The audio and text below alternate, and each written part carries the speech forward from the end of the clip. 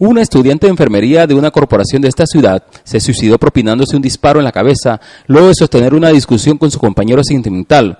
La víctima fue identificada como María Teresa Vergara de León, de 19 años. El hecho se registró el pasado domingo 7 de abril a las 5 y 30 de la tarde en el barrio Los Mayales de Aviupar.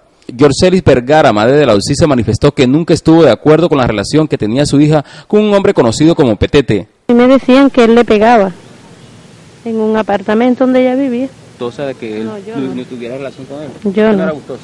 ¿Por qué no? Porque ese no era el tipo de hombre que yo quería para mi hija. Es que yo nunca, yo nunca traté con él, yo no, yo no gusto de ese hombre. Tuvimos conversación, nunca relaté palabra con él. Familiares de la joven piden a las autoridades que se investigue la muerte de María Teresa. Que hagan justicia, que se declare, que se, que se esclarezca el crimen.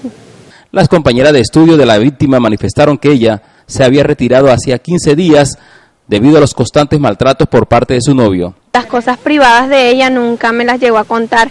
Sí supe que tenía problemas con el muchacho, que no vivía muy bien, que le por lo general él andaba con otra muchacha y eso, o sea, no, pero no supe más nada. Una vez la vi golpeada, me dolió tanto y le pregunté qué le había pasado y no me quiso decir nada, solo se le salieron las lágrimas, fue al baño, se lavó las manos y me dijo que tenía miedo.